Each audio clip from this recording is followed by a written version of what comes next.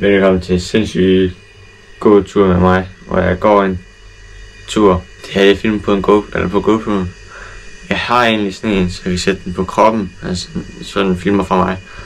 Men det har jeg valgt ikke at gøre. Her har vi min sko. Lige her, så den tager jeg lige på. Øh, kan selvfølgelig ikke lige gøre med en hånd. Wow, nu er jeg kommet udenfor. Jeg ved godt, det er en vildt god vinkel, jeg har fået her. Jeg har sat sådan noget hyper-view på kameraet, så jeg kan få det helt med. Uh, så det bliver sådan helt... Så ens hånd ser sådan mærkeligt ud her ude siden. Men det er lige meget. Nu er jeg kommet til, ned til stranden her, som er lige foran huset. Så det er vildt lækkert. Jeg ved hvad det er. Sådan en slam. Så kan man virkelig se, altså, der er også plastik i det lige der. Det er virkelig trist egentlig, at der er sådan måske går plastik over det hele. Og her er der også plastik. Jeg kunne egentlig tage en plastikpose med, rydde op. Eller rydde op, tage plastik op og sætte ned i den og smide ud. Det kunne jeg nok gøre, men det bliver ikke lige nu. Øhm. Ja. Se, og jeg forstår ikke, hvorfor folk de smider sådan noget ud i naturen. Altså, det var, altså, selv hvis der ikke var en skraldespand, så kan man bare tage det i lommen, og så, så gemme det til, man kommer til en skraldespand, eller til man kommer hjem eller noget. Er sådan plastik her. Plastik der. What the fuck? Og her. Og det er altid sådan noget slik.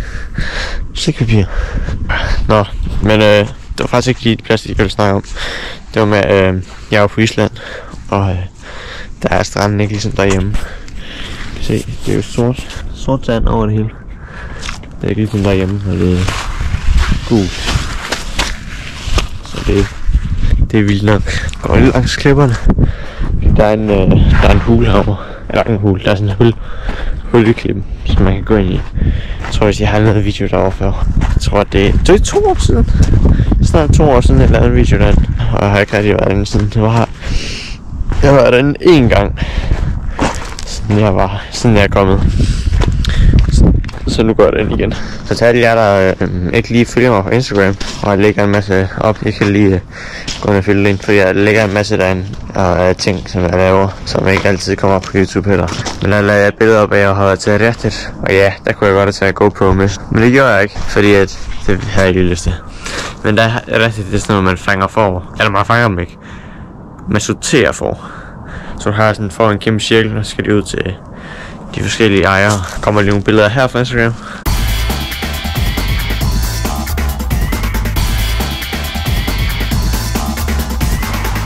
Ja, det er vildt nok. Så hvis I ser sådan noget mere fra mig, så øh, skal I gå ind på Instagram og følge mig der. Ja, det kommer herop eller der.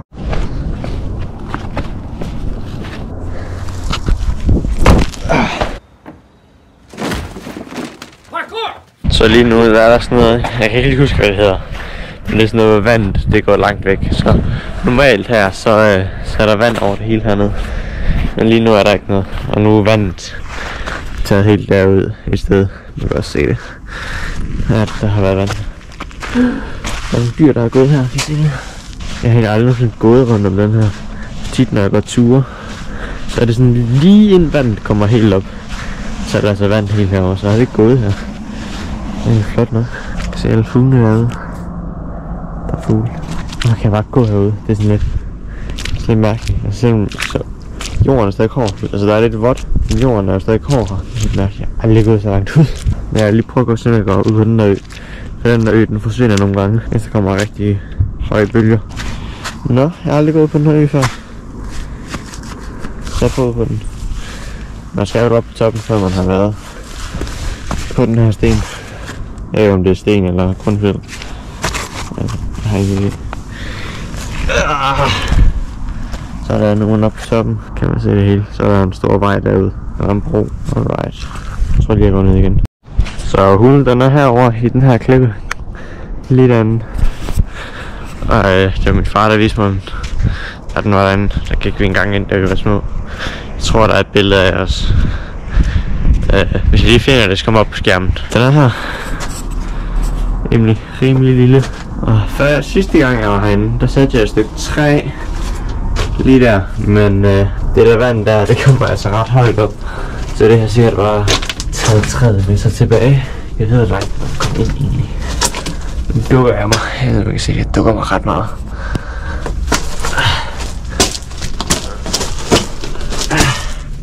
Velkommen ud derovre. Okay. Hvis jeg nu var 1 meter, 1 meter høj, eller bare meget tyndere, så tror jeg godt, jeg kunne komme der igennem. Jeg tror også godt, jeg kommer der igennem lige nu, men øh, jeg har uldtrøj på, strik, så jeg har ikke lyst til at ødelægge den. Sådan der. Men jeg aldrig været længere ude end det her sted her. Altså, jeg mener ikke længere ud derude, men jeg har ikke gået længere end bare herhen. Jeg har lige aldrig prøvet at gå den her vej. Det vil jeg lige prøve. Jeg tror virkelig ikke, der er noget spændende herovre. Det er bare sådan her for evigt. Men jeg skal nok vise jer, hvis jeg ser noget spændende. Jeg tvivler. Jeg tvivler på det. Vi får en lille tur på byen her. Bortgardenas. Så det her det er hele byen. Altså ikke de her sten. Jeg kan lige gå op på den her sten. Så butikkerne, de er herovre. Så er der hus herovre, men der er også hus derovre. Øh, så er det bare sådan en lang... Ja, lang... Sådan øh, line. Jeg har gået ret lang tid nu. Der er, der er lidt langt til byen. Ikke så langt igen, men altså stadigvæk. Så fandt jeg nogle fugle herovre. Der. Så, så det tænkte jeg, det var ret spændende, at der var fugle. Um, nu er jeg på land igen, væk fra stranden. Jeg kan ikke lige helt langt væk, og så tænkte jeg, det var det en skulle ind igen. Så det gjorde jeg. Så gik jeg op på land her, nu ind i sådan en skov her et eller andet sted. Så da jeg gik ind i skoven, så kunne jeg høre et eller andet, der puslede rundt. Og så sådan. Der er, ikke, der er jo ikke særlig mange dyr her på Island, så hvis det kan være der var. Så var der kraftigt med to rottweiler jo. Og det, det er ikke løgn det her. Kommer der to rottweiler, og jeg tænker bare, okay. Fordi de var heller ikke i snor, ikke? Så jeg vidste heller ikke lige, og hvordan hunden var og sådan noget. Jeg ved ikke lige, hvordan de ville opføre sig. Så var det simpelthen bare i sødeste hunde i verden. Hvor kæft, man, jeg skidte i bukserne. Jeg så fandme... Puha. Der var nok mange der. Jeg troede lige, det var sådan nogle aggressive nogen. Og det var derfor, de gik herud. øh, fordi de kunne gå andre steder eller sådan noget. Så var det bare sådan helt normal hund. Og han kom så bagefter, så var sådan, goddag. Ja, hej, goddag. Øj, øj, for satan, der var mærkelig græs. Ja, nå. Så, så det var godt nok, det var bare helt sød Hun, de kom helt op og snuste og så gik de bare igen. De ville ikke engang have noget med en at gøre. Jeg havde godt nok troet, at de ville begynde at gø og det ene og det andet. Så jeg er sgu glad for nok, at de ikke gjorde. Og øh, så nu kommer ind i byen igen. Eller byen og byen. Byen er lidt på den anden side af de der træer. Så jeg er lige udkanten. Der er en høj bygning her bag mig. Så ind i byen er jeg vel lidt. Øh, og jeg er hjemme lige om lidt. Det er bare derovre. Så det er bare lige ud herfra. Øh, og jeg vil bare sige tak for at jeg så med i den her video. Så jeg skal lige følge mig på Instagram, så jeg kan se, der sker noget i mit liv, som jeg ikke lige sætter op på, på YouTube. Farvel.